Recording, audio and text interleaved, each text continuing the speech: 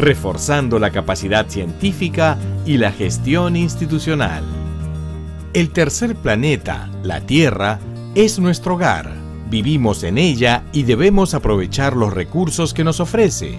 Sin embargo, para que estos sean sostenibles, debemos protegerla, respetar los ecosistemas. Pero no solo debemos cuidar la naturaleza, sino también cuidarnos de ella, para lo cual es necesario conocerla y comprenderla a través de la investigación.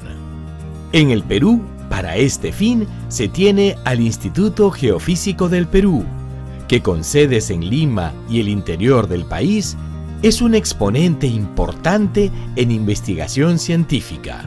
Además, está logrando una merecida consolidación a nivel internacional. El Instituto Geofísico ha incrementado notablemente su capacidad científica, pasando de 15 a 40 investigadores en estos últimos cinco años. Esto ha sido posible gracias al apoyo a la formación de las divisiones inferiores del instituto y también gracias a la atracción de cuadros ya eh, altamente calificados. Los estudios del Instituto Geofísico del Perú se realizan en la litósfera o capa rocosa superficial del planeta, donde se producen sismos y erupciones volcánicas. En la hidrosfera, la cual incluye todas las aguas superficiales, océanos y grandes ríos, el agua sólida de los glaciares y el agua subterránea alojada en las capas internas del suelo. Estudia también la alta atmósfera, ionosfera y magnetosfera, que son el escudo de la Tierra ante el embate de los procesos estelares, principalmente los del Sol, nuestra querida y temida estrella.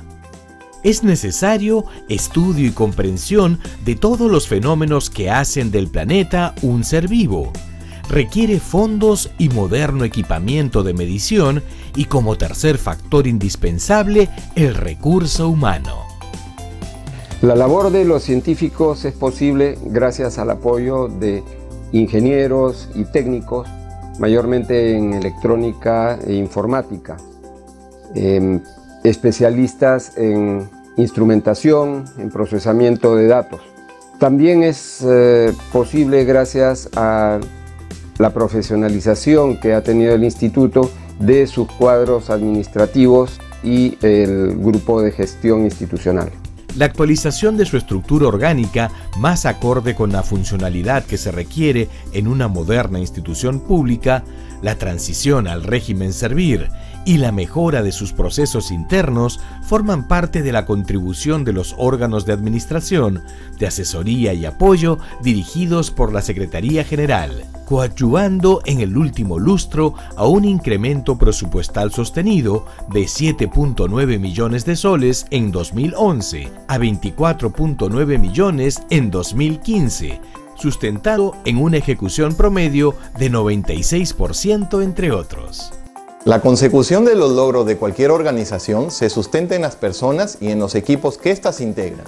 En el IGP hemos logrado constituir un equipo sólido, cuyos resultados, si bien parecen manifestarse mejor a través de cifras, encierran una labor de gestión y seguimiento constante a lo largo del tiempo que es difícil de transmitir, pero que es esencial destacar.